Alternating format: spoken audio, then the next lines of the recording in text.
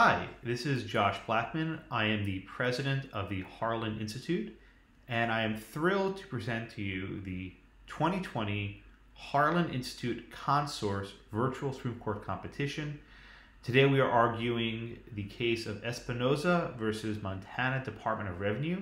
Today we have two students from Minnesota. We have Curtis Herbert and Hayat Muse, and they will be arguing on behalf of the petitioners.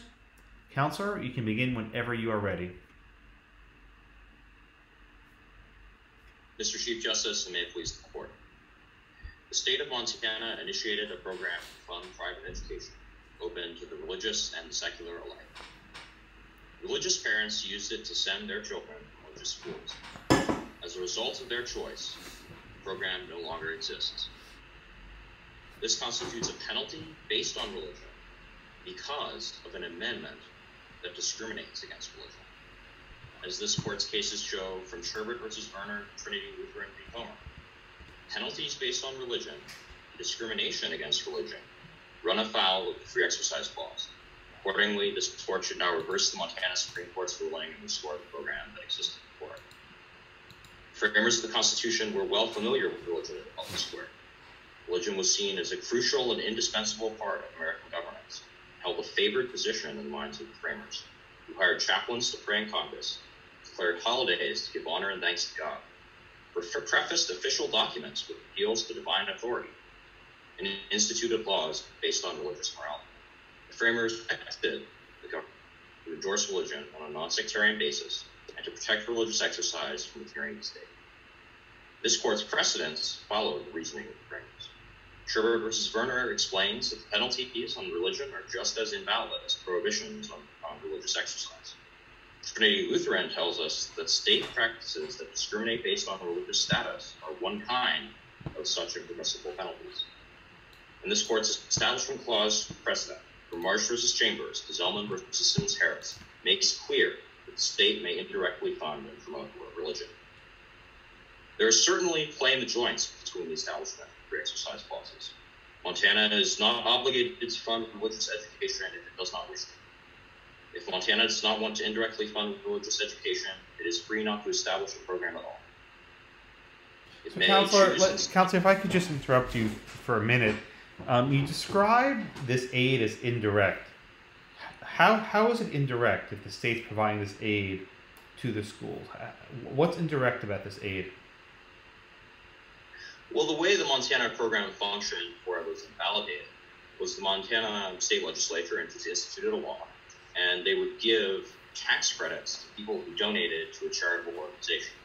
The charitable organization would then turn around and dispense uh, scholarships, in this case, to low income individuals, which is very a form of indirect aid that importantly rises, arises out of the choice of private individual third parties. And like the court said in Zelman versus Simmons Harris and a lot of its other establishment clause cases, uh, when indirect aid to religion comes about not as you know a program directly funding religion, but as a result of private choice by private individuals, then the program is much less constitutionally suspect than it otherwise might be. Yeah, but counselor, isn't it obvious Montana did this to get around their state constitution's no aid provision? That they had this sort of Rube Goldberg machine to try and bypass it. Isn't this really kind of almost pretextual that this is obviously trying to help religion, but they can't quite say it so explicitly? Well, in the context of pretext, I'm not sure about the, the degree of scrutiny this court is going to apply to Montana's reasons, but I, I'm, I'm still not quite sure about because Montana, at least in my view and in the view of, of petitioners, is simply seeking to promote uh, access to education uh, for low income individuals and to better uh, the education of children in the state. Um, and as to whether or not that's a pretext, um, it depends how stringently this court is going to look at it. Um, and, and I just don't think that the court is going to apply some sort of strict scrutiny this, situation. Well, let's talk about the state constitutional provision for a minute. Um, do you think the Montana Supreme Court was required to do what they did under their state constitution?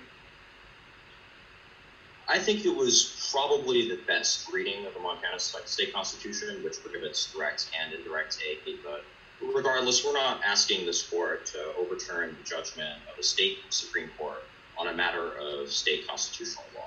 Um, not what the court granted this case to do, and what. What, what exactly are you asking this court to do then? We're asking this court to reverse the Montana Supreme Court and restore the scholarship program uh, to its status before it was invalidated. Well, but in order for us to do that, are you asking us to declare the Montana Constitution to be unconstitutional, Article 10? We are. You are. Um, Counselor, how many states have these sorts of no aid provisions in their constitution? It's a relatively large number, to my knowledge. It's well upwards of a dozen, um, and the courts, you know, addressed similar provisions so, recently. are you saying all these are unconstitutional on their face? Not necessarily. The court would have to, to litigate that on a, on a case by case basis. Right, but let's just take the Montana one for a minute. Do you think the Montana one is unconstitutional on its face? Yes. In all regards. Well, at least as as it pertains to its, its status-based discrimination against religion. Okay, so what case tells us that the um, that the no aid provision is unconstitutional on its face? Well, there isn't a case that this court has with exactly precisely identical facts saying that um, no aid clause is facially unconstitutional, but uh, Trinity Lutheran strongly supports that proposition, um, as does this court's earlier free exercise clause cases like Sherford versus Penn. All right. Well, can't the state of Montana use these sort of Blaine amendments to avoid establishment clauses, almost like a like a prophylactic? Why can't a state voluntarily tie its hands to avoid any sort of entanglement with church and state? Why is that not permissible? Well, absolutely, the state could absolutely voluntarily tie its hands. That's just not what happened here, right? Instead of tying its hands and having no program, the state of Montana had a program. Then the program was used by religious parents to send their children to religious schools, and as soon as that happened, Montana shut the program down. So it's one thing not to have a program; it's another thing to institute a program and then punish people for using that program by shutting the program down. Okay, I have a question on that. Um, so you touched on this actually uh, a little bit in your brief, but you said that Montana, if they so choose, could just not have a program at all. That's just essentially what the Montana Supreme Court has done. They've struck down the entire program, so now no one gets a scholarship. So, what, in your view, is the harm here? Well, the harm is the fact that the, the program is, is no longer available because uh, of a penalty, basically. So, like I was, you know, talking discussing earlier with Justice Justice Blackman, um, there was a program, and then because the program was used in ways that Montana Supreme Court saw uh, to be improper, the program was struck down. Right, the Montana Supreme Court is penalizing petitioners for using the program to attend religious schools.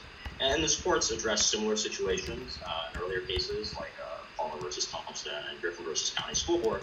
And what this court has said is that when you shut down an entire program or shut down an entire institution, um, if you're doing so based on some sort of animus or discriminatory intent, then it's constitutionally suspect. And we don't really have to look far for discriminatory intent. So the discriminatory intent is right there in the Montana State Constitution, which prohibits uh, aid to sectarian institutions, you know, not because of what they do, uh, but because of who they are, because they are controlled in part by religious institutions. Counselor, do you think that Trinity Lutheran represented a departure from the court's precedents, or maybe we should just read the case narrowly to be limited to playgrounds?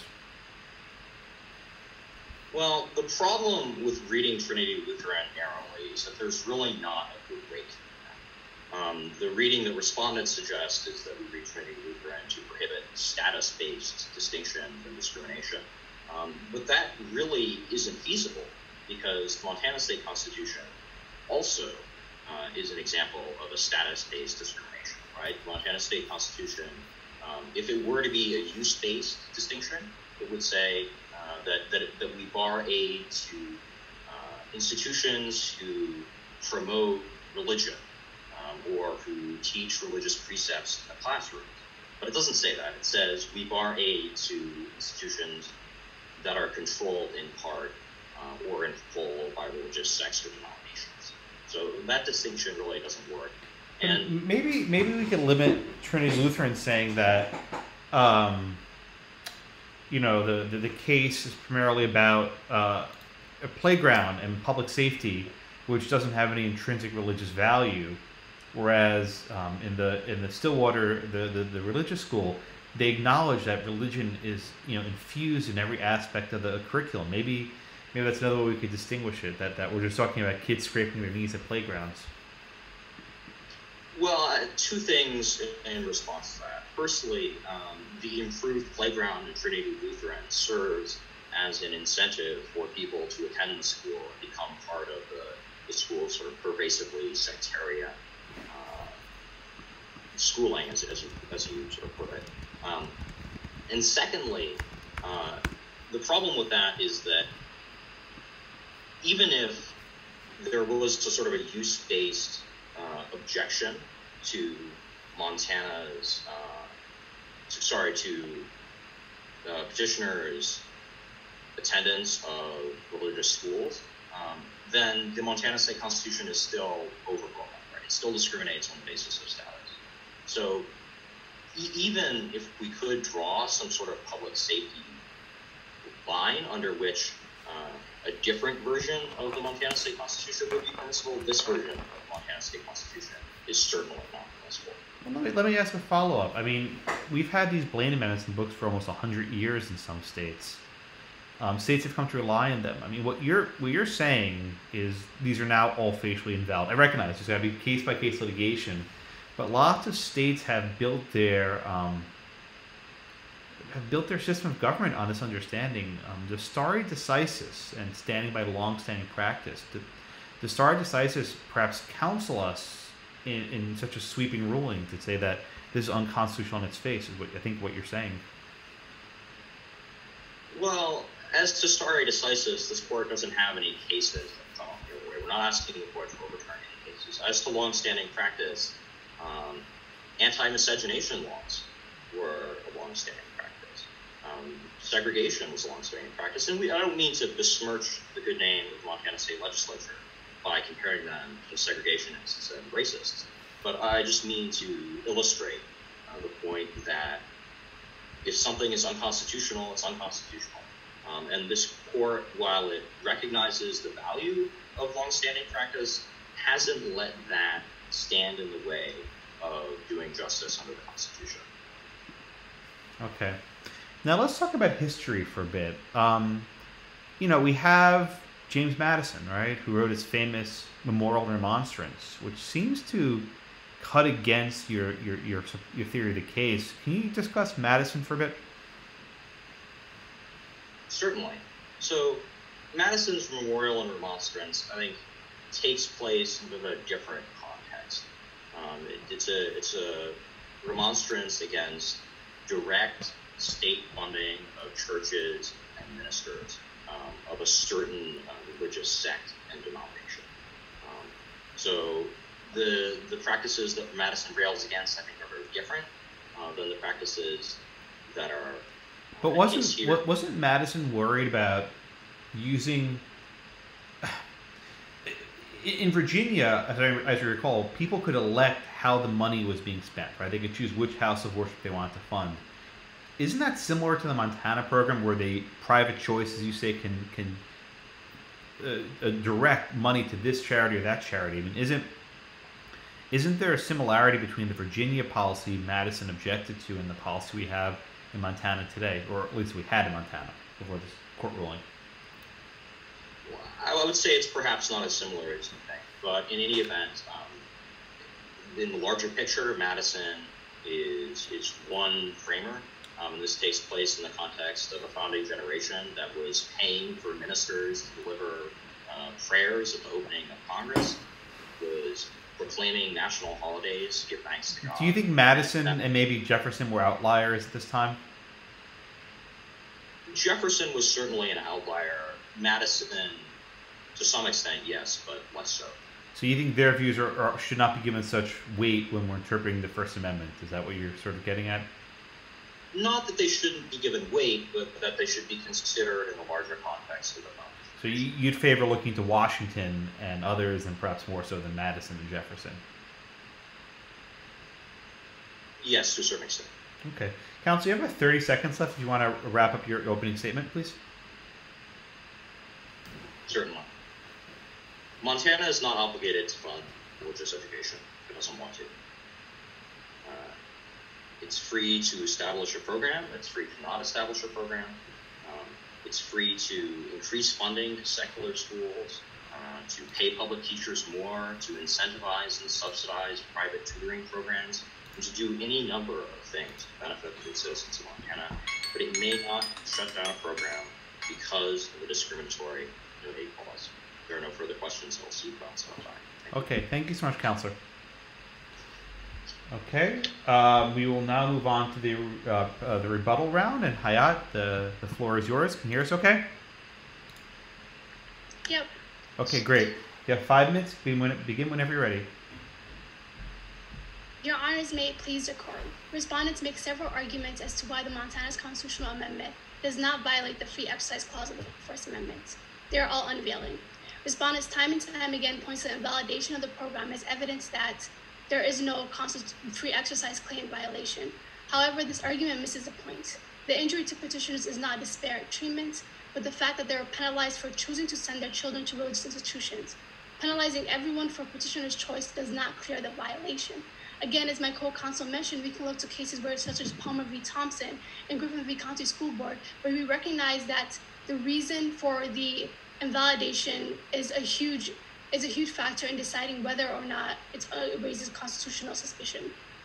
Additionally, um, respondents go on to argue that Montana's constitutional amendment does not violate the free exercise clause of the First Amendment and attempt to draw this distinction between Trinity Lutheran and this case. However, they don't address that the ruling in Trinity Lutheran was about the unconstitutionality of discrimination on the basis of religion, which we see occurring in Trinity Lutheran as well as the case before us today. Well, but Councillor, Councillor, if I could just interrupt um, just, just for a minute, I'll ask you the same question I asked your co-counsel. Why can't we read Trinity Lutheran a little bit more narrowly and just say that case concerned public safety and playground safety, um, whereas this case involves religious instruction? Why can't we draw that sort of line? That when you're talking about public safety grants, you can't discriminate on the basis of religious status, but with education you can, uh, and, and I think Locke v. Davey provides some support. Why why can't we draw that line uh, from Trinity Lutheran? Well, two points to that. And on the first point about Trinity Lutheran, it's about the fact that the Trinity Lutheran program, the program ruled ruled that the program was unconstitutional Trinity Lutheran that provided aid to these playgrounds would not be available, would not be would not be constitutional under Montana's constitutional amendment. So due to the fact that Montana's constitutional amendment, regardless if it's a school, if it's a religious organization controlled in whole or in part by a church, regardless of even if they offer an entirely secular curriculum, they're still unable to receive status-based discrimination happening. And it's less about what the root school teaches and more about its status as a religious organization. And additionally, on the point about Locke, we can draw several distinctions between Locke in this case. And what respondents fail to recognize in Locke is that this court upheld Washington's decision to withhold money in large part because of the efforts Washington made to accommodate religion. Unlike in Montana, this court cited the fact that Washington's program allows scholarship money to be used at pervasively religious schools as a reason for its neutrality and inclusiveness. Montana's program, on the other hand, does not allow the scholarship money to be used at religious schools. Wait, wait, hold so, on. Well, the, the money cannot be used at religious schools that we just said? And Montana's program, scholarship money cannot be used at religious schools. Well, but what about the Stillwater School, where Espinoza wants to send her kid? Isn't that a religious school? Yes, but under Mont- under the Big Sky Scholarship Program, it could be used. But under Montana's constitutional amendments, there cannot be a scholarship program. no, I, I get that, but aren't you asking to declare the Montana Constitution unconstitutional? Is that what, what your position is? Correct. So, but th- this program then is like Locke in that money can be used for religion. Like that, that that's a similarity, not a distinction from Locke v. David. The distinction would be that in Locke, Washington made these efforts to accommodate religion. So Washington did allow scholarship money to be used at pervasively religious schools. We just wouldn't allow scholarship money to be used at certain institutions that offered clerical training, such as seminaries for priests. But couldn't the Montana program also be used for religious instruction? Or before before the Montana, yeah. Montana under Montana's constitutional amendment, scholarship programs such as this one cannot be No, used. no, I, I get that, but you're asking us to get rid of the you're asking us to restore the policy and get rid of the Montana Constitution. yes. All right, carry on. You have about a minute left. Yeah. And so, additionally, that's the several distinctions. And due to the fact that we don't see this accommodation for religion being made that we saw in Locke, we can conclude that Montana's scholarship program, Montana's constitutional amendments would not be constitutional. Additionally, the third argument respondents make is that the state of Montana does not have to fund education. This is not petitioner's point of view. We're not asking for the state of Montana to fund education. Um, we state that Montana is not obligated to fund religious education if it does not wish to, but it cannot condition the availability of general funds on secular status. And we see this in Trinity Lutheran. So if Montana wishes to have no funding for private schools, it can have that. But what Montana Supreme Court did by embodying the entire program is institute a generally available fund and then shut it down as soon as it was used to fund religious schools. That is a clear penalty on religion. Same time, perfect timing. All right, thank you so much uh, to Curtis and, my, and Hayat.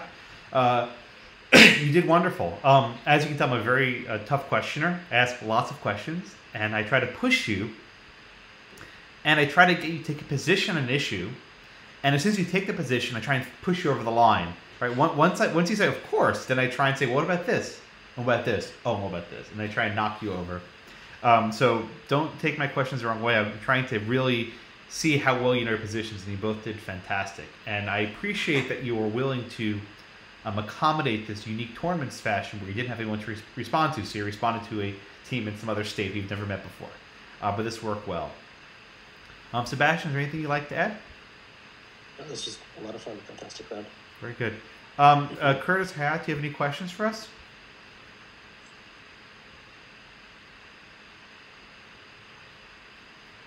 No? No? All right, well, then we will be in touch in the next week or so with scores. We're very happy to have you and hope you guys stay safe. I was actually supposed to be in Minneapolis yesterday. Um, I was supposed to speak at the University of Minnesota, Minnesota in, uh, in Minneapolis, uh, right, right by where you guys are, but unfortunately I can't leave my house. So uh, I'm here instead. But I would love to have uh, had lunch with both of you. Maybe I'll meet you some. Uh, I, maybe I'll see you some other time. All right, uh, I will end this recording, and we will see you all soon. Thank you so much.